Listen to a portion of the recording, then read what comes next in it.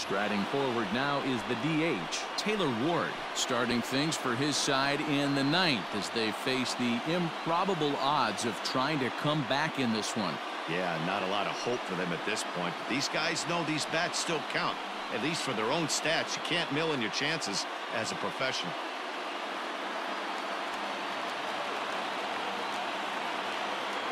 First delivery to him on the way. Here we go with inning number nine as the first pitch misses for ball one.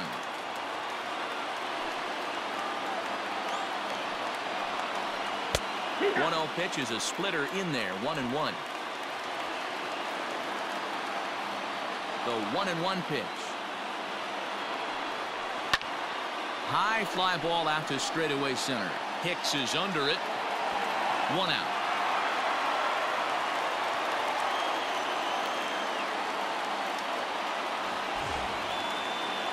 Digging in, Max Stassi. He'll look to bounce back after striking out his last time up. Yeah, and he didn't put up much of a fight either, Matty. Got to find a way. Can't go down three pitches. I don't care if you're staring at him or swinging at him. You have to find a way to make this pitcher work a little bit harder. No balls in one strike.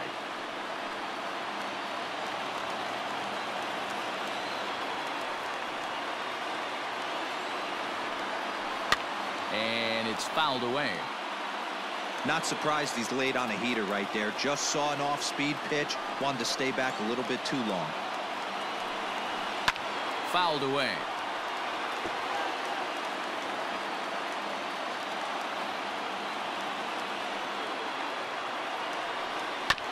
Oh, right back to him on the mound. And he'll just flip this on to first for the second out of the inning. Back to the top of the Angels lineup now and stepping in Andrelton Simmons.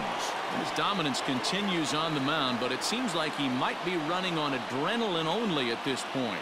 Yeah, he's been so great in this one.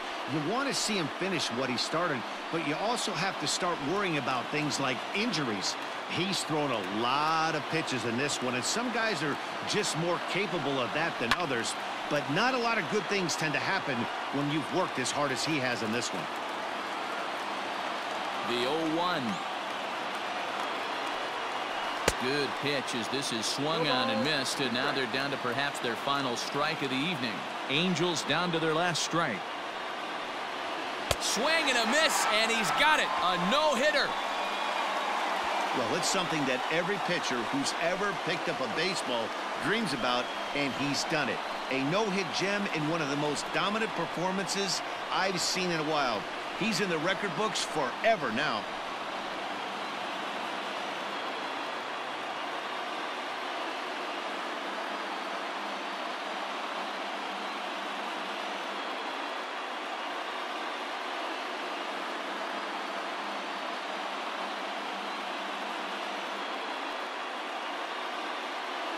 Well, obviously, after a no-hitter, there's not a whole lot of debate as to the identity of our tops player of the game.